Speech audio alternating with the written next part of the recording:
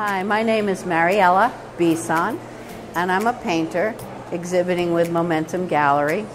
I'm standing here with a new painting. It is a forest landscape.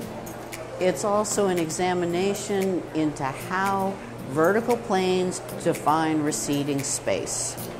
There are formal issues of overlapping, of scale, of the treatment of light on form, all of which are intended to make you feel that you could just walk in here.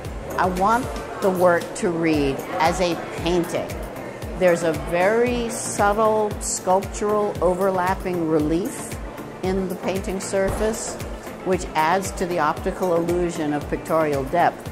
Well, in this particular show, Transformations, Earth, Wood, and Water, I'm showing 11 paintings.